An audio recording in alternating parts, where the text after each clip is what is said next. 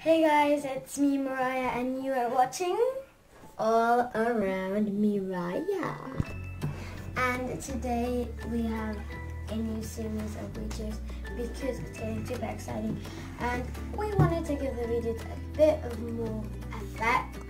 So we have these two books from the library that I got. Actually, take that back, me and my dad got. And these are some books. This is a poem book and a joke. So the new thing is that on every video on this channel, we are going to be doing one poem and one joke.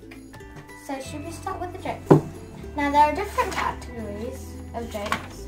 So I'm gonna do, and it's going in order, capital order, or letter order.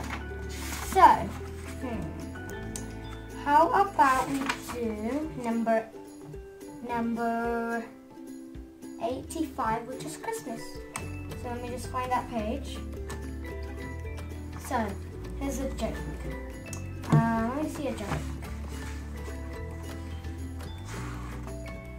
We'll talk about children. Oh, Christmas. Why are Christmas trees so bad at suing?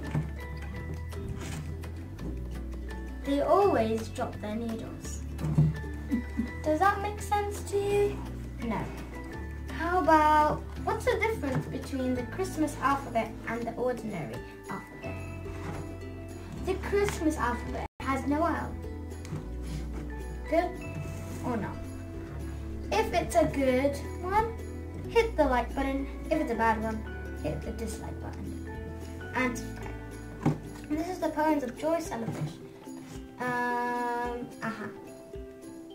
Let's see a small one that everyone can do. How about Indian summer?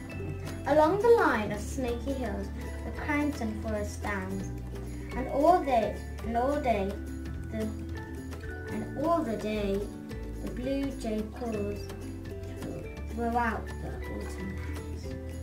Now by the brook, the maple wind with all its glory spread, and such as the maps on the hills have turned their green to red. Now, by great marsh wrapped in mist, or past some river's mouth, throughout the long, still autumn day, so hopefully you liked the poems of joy and the joke books. If you did, smash that like button and subscribe.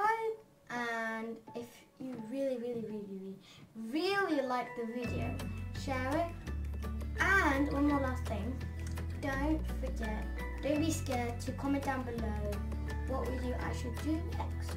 Well, in the meantime, I'll see you later. And don't forget to be nice or you will be in trouble. Bye.